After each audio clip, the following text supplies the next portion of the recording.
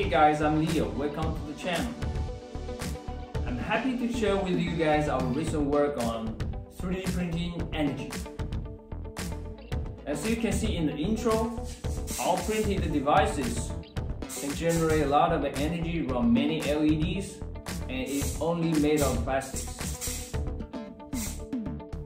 Okay, now the energy pack is printed, the six of it, uh, took one of it tree support is very beautifully taken off. So I left two connectors so can connect to the LEDs easily let's uh here. Connector with the LEDs and let me shake that. To just see whether you can see the image. Okay the line here line nothing is connected We made the device with the Prusa Mini 3D printer, the Protopasta conductive PLA, and the PTFE plastic beads. Now I'm printing the large flat energy packs. It contains more than 500 micro beads inside.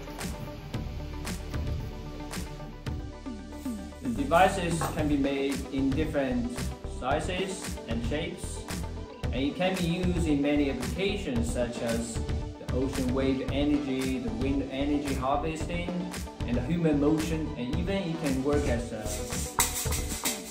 musical instrument.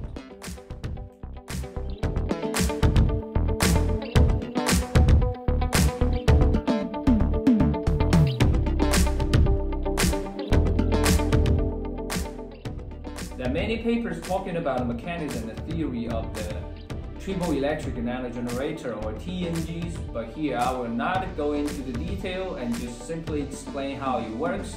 It's a coupling effect of triboelectric effect and the electrostatic inductions.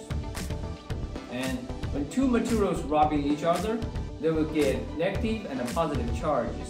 When the charged object is near uh, electrodes, it will generate the potential difference over time and will generate energy, power, and electricity.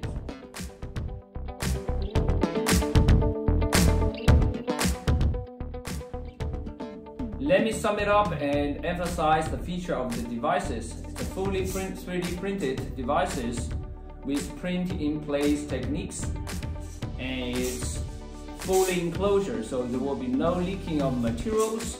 It's easy to make. It can made into different uh, sizes and shapes with many applications. And the most important is uh, it has very big potential for commercializations.